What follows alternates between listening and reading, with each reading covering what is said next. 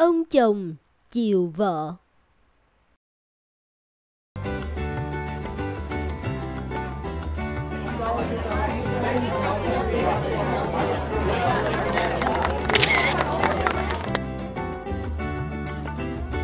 Được rồi đấy anh.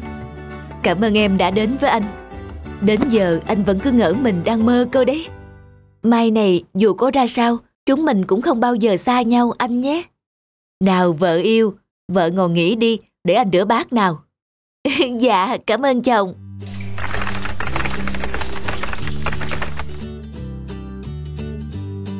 Anh ơi, Mật khẩu máy tính của anh là gì thế? Từ mật khẩu máy tính, Điện thoại Đến mã pin ATM Anh đều lấy ngày sinh nhật của em đấy.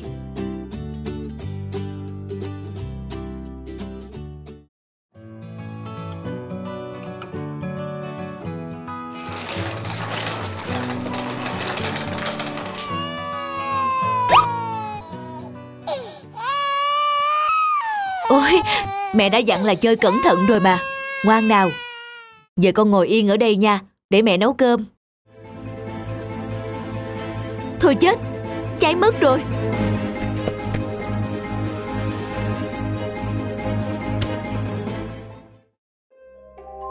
Sao giờ này chồng còn chưa về, mà chập này hay về muộn thế? Thuê bao quý khách vừa gọi không liên lạc được.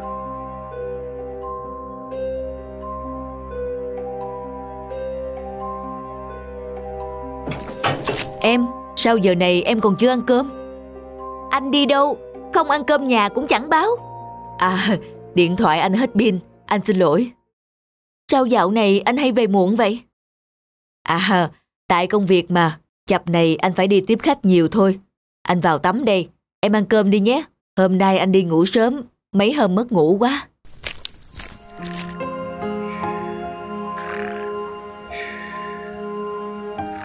Ủa, chồng mình mới mua chiếc nhẫn này, sao mình không biết? Sao, sao chiếc nhẫn lại khắc chữ tờ? Chẳng lẽ...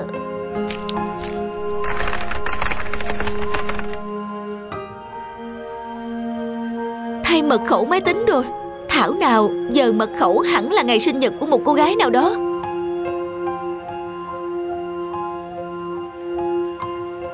Cũng không được. Vậy là anh ấy đã thay đổi toàn bộ mật khẩu. Từ máy tính đến điện thoại rồi. Đúng là, Anh ấy đã có người khác. Đã từ lâu rồi Mình bỏ bê bản thân. Đến phấn son cũng hết hạn sử dụng mà không để ý. Có lẽ Anh ấy đã chán mình rồi.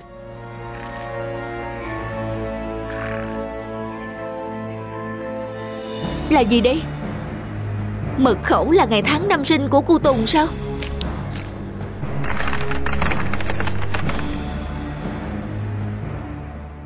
Hóa ra, mấy tuần nay em ghen với con. Chiếc nhẫn khắc chữ tờ Cũng là chữ đầu tiên tên Tùng. Con chúng ta. Mi à Rõ là mày trả ra sao? Vợ chồng có gì chưa hiểu Thì cũng phải hỏi han nhau chứ. Sao lại Sống mà cứ hồn nghi nhau Thì khổ lắm đấy.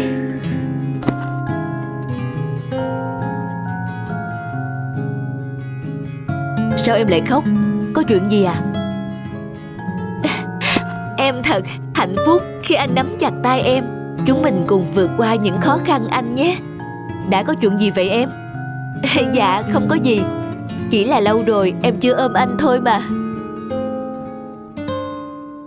Chiếc điện thoại của gió.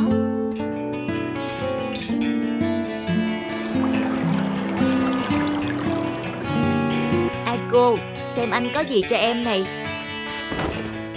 Anita Rưu Sao anh về muộn thế Ai cô, Anh mua bánh bao em thích này. Wow, Vẫn còn nóng hổi nè anh.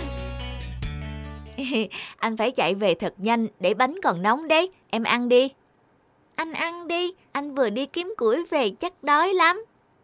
Anh ăn trên đường về rồi, Em ăn đi. Anh nói dối, Anh chưa ăn. Nè, Anh em mình mỗi người một nửa.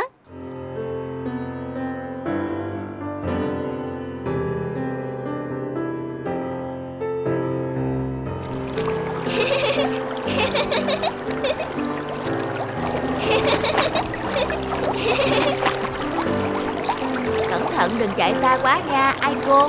Vùng suối bên kia nước xiết lắm đó. Dạ. Wow, cây nấm to quá Như cái ô vậy.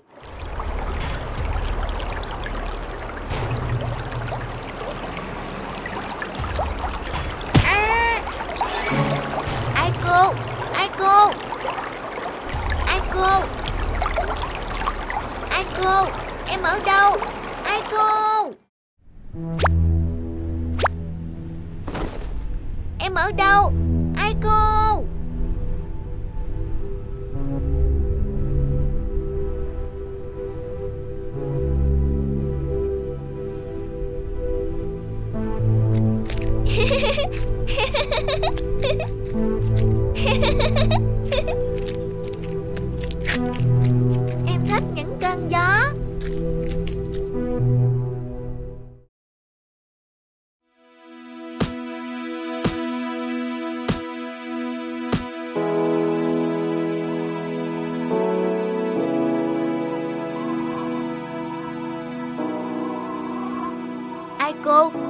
phải em đấy không? Là anh đây Em có nghe thấy anh nói không? Em khỏe chứ? Anh đang gọi cho em từ nơi em thích nhất Nơi có những cơn gió em mong trở thành. Từ hôm nay Mỗi ngày anh sẽ gọi điện cho em. Anh nhớ em lắm ai cô?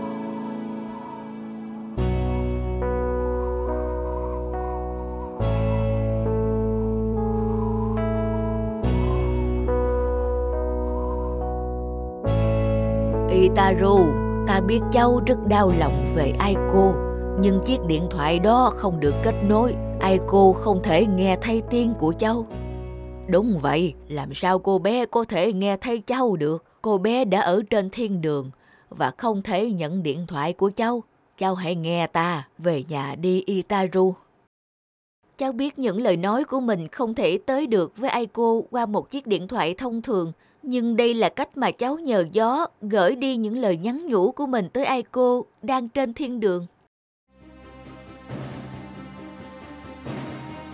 Ngày 11 tháng 3, 2011, trận động đất mạnh 9 độ Richter, mạnh nhất trong lịch sử Nhật Bản, kéo theo đó là một cơn sóng thần dữ dội, làm rung chuyển đất nước mặt trời mọc, gây ra những hậu quả nghiêm trọng đối với đất nước và con người Nhật Bản. Tổng thất lên tới 3.000 tỷ USD, cướp đi sinh mạng của hơn 15.000 người.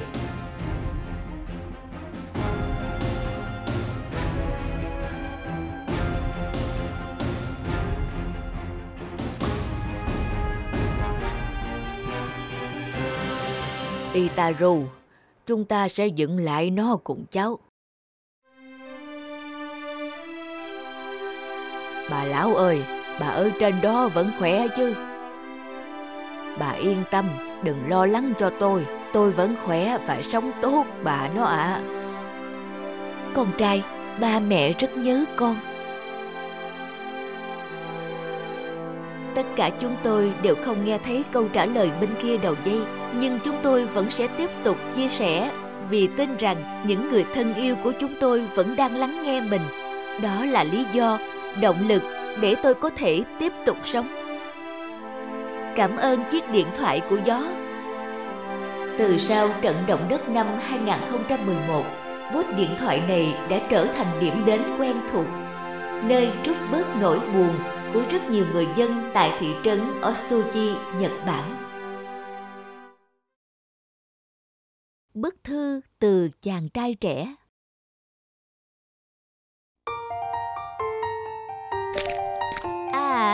cô nương nhà tôi làm gì mà hí ha hí hửng thế?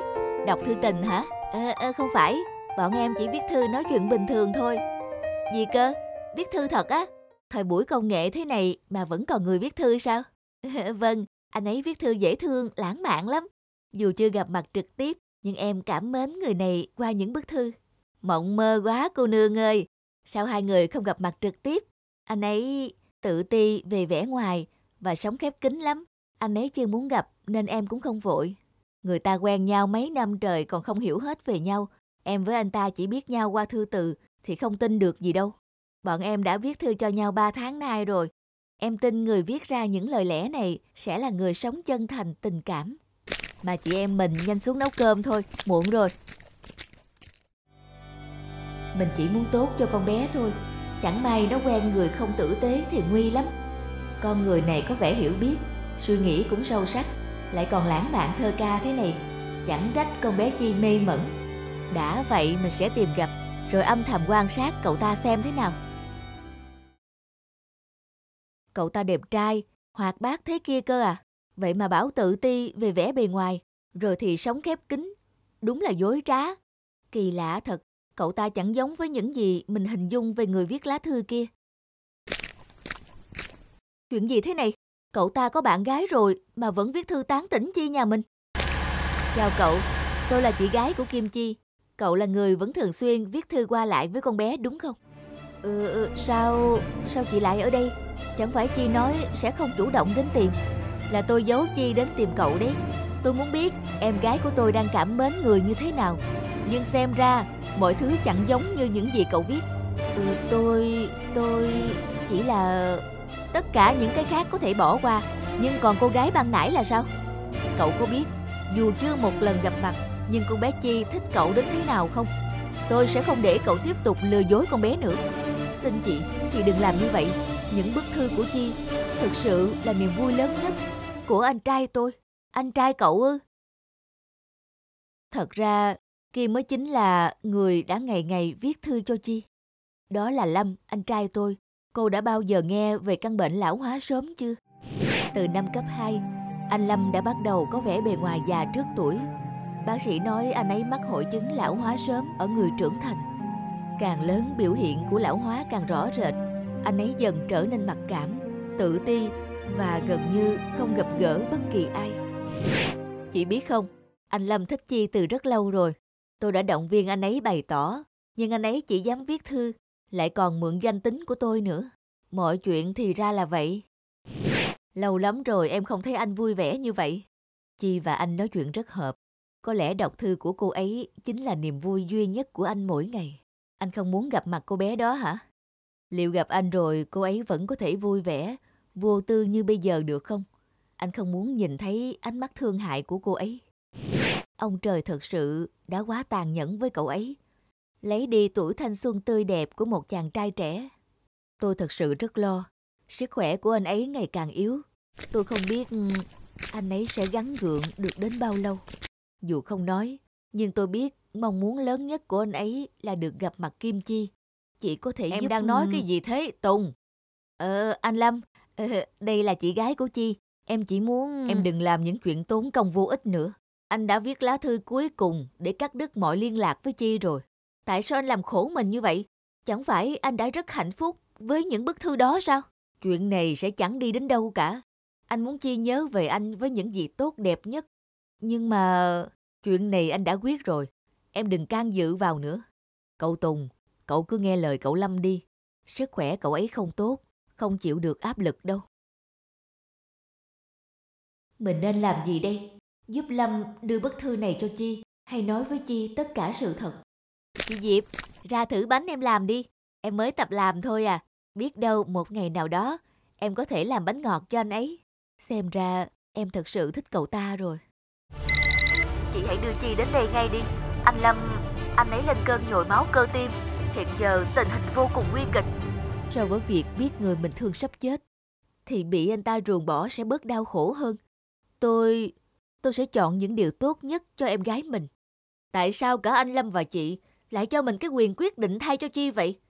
Những điều chúng ta nghĩ là tốt cho ai đó, chưa chắc đã thật sự tốt với họ. Dù là tốt hay xấu cũng hãy để Chi tự quyết định. Chỉ có như vậy thì sau này, anh trai em hay em gái của chị mới không phải hối tiếc về điều gì. Anh Lâm Gặp được anh thật khó khăn quá Em mang đến hoa cúc họa mi anh thích này Chàng trai trẻ Anh phải nhanh khỏi bệnh nhé Sao em lại đến đây? Anh không muốn gặp em. Chỉ cần anh vẫn là chàng trai viết thư cho em, Vẫn là suy nghĩ đó, Cảm xúc đó, Thì dù trong bộ dạng thế nào cũng không quan trọng. Tôi không biết con bé lại kiên cường như thế.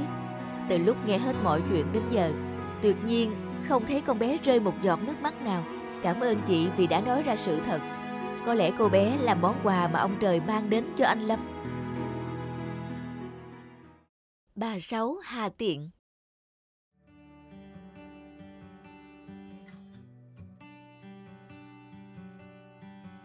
Dạ, thưa ngoại con đi học. Ờ, đi đi con.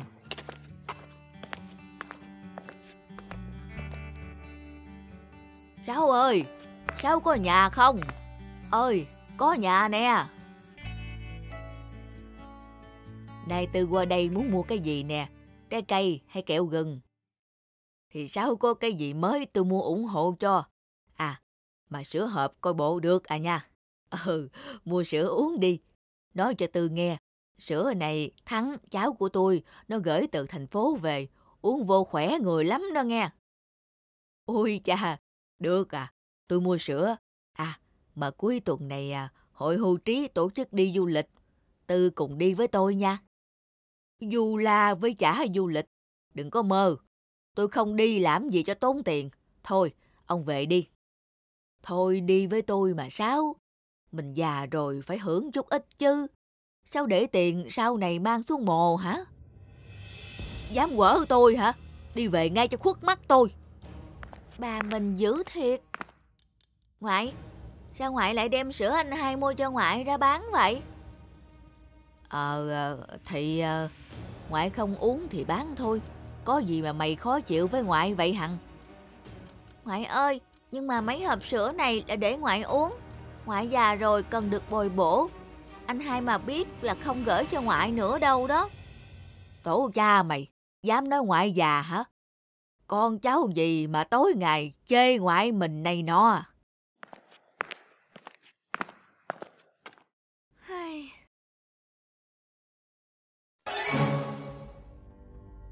Nè, cậu kia, cậu là ai vậy? Tự nhiên ban ngày ban mặt bịt mặt vô nhà tôi làm gì? Ha ha ha, tôi, tôi là cướp.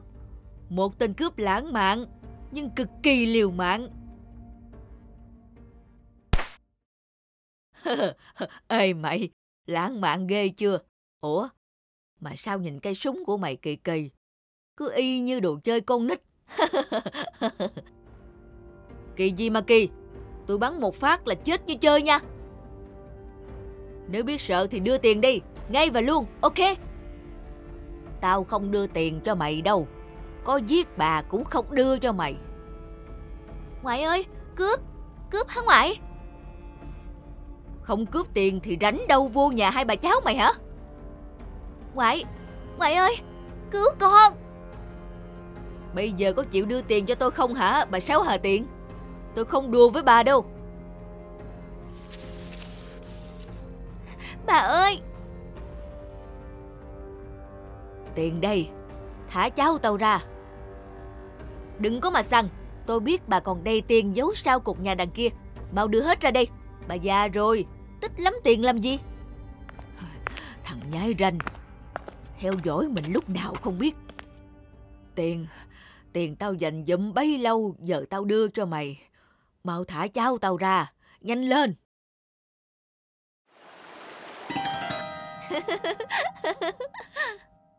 Hả? Sao lại là con hả Thắng? Thật ra thì tụi con bày ra trò thôi. Ngoại đừng giận con, là con đã nói chuyện này cho anh hai biết. Alo, anh hai. Dạo này ngoại khỏe không Út? Tiền hai gửi ngoại có mua đồ ăn tẩm bổ thường xuyên không? À, còn mấy hộp sữa hai gửi nữa, ngoại uống hết chưa? Hai ơi, tiền hai gửi ngoại đâu có xài. Sữa cũng không uống mà đem bán cho ông Tư hàng xóm. Em nói ra ngoại còn giận lẫy nữa. Phải nghĩ cách để ngoại không còn hà tiện như thế nữa. Hai cái đứa này, mày đặt nghĩ ra cái trò cướp giật, vui lắm phải không? Ngoại ơi, ngoại đừng giận hai anh em con mà. Tụi con thương ngoại mới làm vậy để mong ngoại thay đổi bản tính hà tiện của ngoại. Tuổi ngoại càng cao nên ngoại cần nghỉ ngơi, dưỡng sức, bồi bổ thật nhiều vào. Nhìn thấy ngoại khỏe mạnh, tụi con mới yên tâm ngoại à. Đúng đó ngoại ơi, nhìn ngoại ăn không dám ăn, cứ hà tiện từng ly từng tí, mà con sót lắm. Hai đứa là món quà to lớn của ngoại. Giờ ngoại già cả rồi, sống cũng chẳng được bao lâu nữa. Không hà tiện thì lấy gì lo cho hai anh em con. Ngoại ơi! Sau này đứa thì phải gả chồng, đứa thì gả vợ. ờ, ý ngoại là đứa thì lấy vợ, còn đứa kia lấy chồng. Ngoại phải lo trước chứ. Cháu thấy ngoại mới nên gả đi. Ông Tư có vẻ thương ngoại lắm. Sáu ơi, hôm nay à, hạn chót đăng ký đi du lịch rồi. sao đi với tôi đi. Thằng cả nhà tôi nó vừa cho mấy triệu. sao đi đi, không phải nghỉ nhé. Không cần tiền của Tư, sao cũng có tiền nè. Vậy là sao đồng ý đi du lịch với tôi ha? Ờ, thì đi lần cho vui. ờ, sao đáng yêu quá. Yeah, ngoại thiệt là hết sảy. Xúc cảm diệu kỳ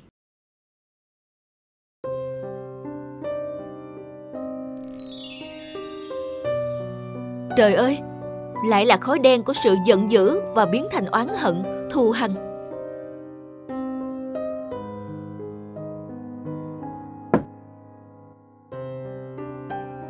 Anh mau đưa cô ấy đi đi. Lại một người đầy oán hận, chúng tôi không thể nào đón nhận. Giận dữ à? Ông ấy bị nhấn chìm trong thù hận. Đến cuối đời vẫn căm phẫn người vợ mà ông ta cho rằng không chung thủy vẫn một mực không nhận đứa con trai duy nhất. Chúng ta có thể đưa em ấy đi rồi. Chính anh đã giết con bé bởi sự vô cảm của anh. Trong lúc con cần anh nhất, thì anh còn mãi trăng hoa. Tôi phải giết anh. Cô bé tạm thời phải đi với tôi rồi. Ba mẹ như vậy, sao cô bé tới thiên đường đây? lại là giận dữ, oán hận. Được rồi, ta đã có cách. Mọi chuyện chốn nhân gian đang trở nên nghiêm trọng rồi, ngài Jin ạ. À. Ngài nói sao? Chẳng phải con người đã lên thiên đường nhiều hơn rồi sao? Tôi đã xóa bỏ hoàn toàn những cảm xúc giận dữ. Ngài mau theo tôi.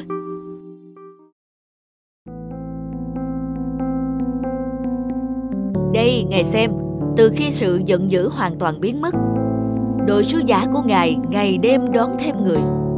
Đúng là như vậy nhưng vấn đề là thế hệ tương lai sắp tới có thể là sẽ không còn một ai lên thiên đường nữa. Tại sao chứ? Ngài xem đi. Cậu không chịu học hành chăm chỉ mai mốt tương lai sẽ bận hàng đấy. Ừ suốt ngày thấy ăn gậy với ăn ngỗng mà ba mẹ cậu không giận hả? Các cậu giờ mà vẫn còn dùng cái từ giận cổ lỗ sĩ ấy hả Gậy thì sao, ngỗng thì sao, tớ thấy vẫn vui mà. Thầy cô vui, bố mẹ vui, có phiền chi ai. Ừ, cậu nói cũng phải, tớ cũng thấy từ này hơi ngượng miệng sao ấy. Hạnh, Hạnh, em không phải ngại đâu, cứ ra gặp anh ta đi. Dạo này trông ngon nghẻ ra ghê nhỉ? Em nói chuyện đi, anh đi trước nhé. Anh xem đấy, Tôi e rằng chuyện này không ổn chút nào. Con người không còn giận dữ thì cũng không còn động lực mà phát triển nữa. Sẽ mù quáng, u mê, thậm chí là ngơ ngẩn. Ôi, Thượng Đế đáng kính, chúng thần... Con người lúc nào cũng tin tưởng vào ta. Mong ta mang đến cho họ những điều an lành, ấm áp. Vậy mà các người làm gì với họ thế này? Mau xem xét lại ngay cho ta lỗi là ở thần, thần sẽ sửa sai ngay ạ. À. Ta sẽ cứu vãn được chuyện này. Cứ thêm nhiều nữa những cảm xúc tích cực là sẽ ổn thỏa cả thôi. Con bé này vẫn nai tơ như ngày xưa nhỉ? Trời ạ, à, gã tinh quái này, còn tên người yêu thì nhu nhược thế là cùng. Mà tại mình đã hủy mất mấy cảm xúc tiêu cực của họ mà. Được rồi, lọ yêu thương chung thủy đây rồi. Nào, hãy đến với cô gái đi để cô ta nhận ra tình yêu đích thực của mình. Nhưng anh lâm à giờ người em yêu là anh đức kia. À, đúng rồi mau trở lại với người yêu của mình đi nào buông gã đó ra đi. Em mau quên cái gã quê mùa cục mình ấy đi. À, trời ơi cảm xúc tích cực cũng không còn linh nghiệm nữa ư. Được rồi cậu bé này, đam mê và mạnh mẽ lúc này cũng sẽ giúp cậu làm trò ngoan thôi.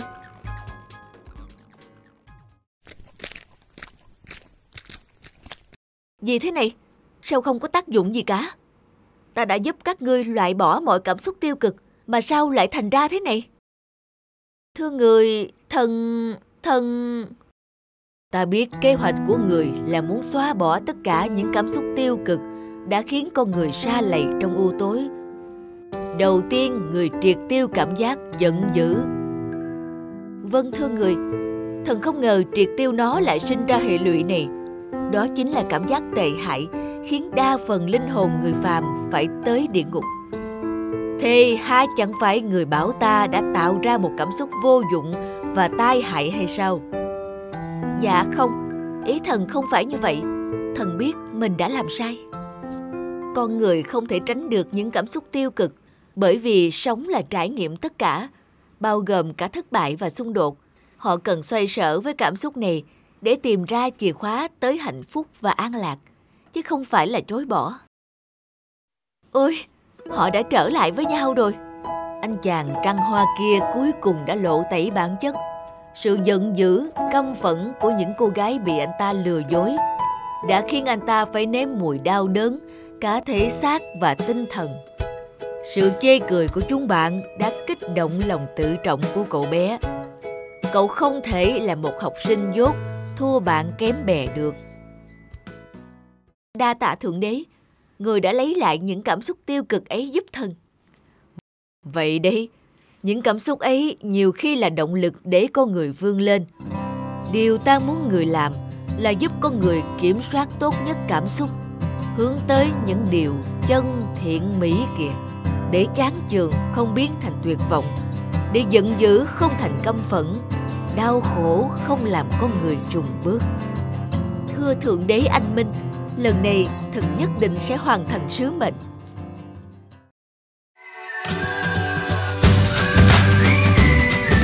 Hãy like, comment, subscribe kênh để xem thêm những video mới nhất nhé!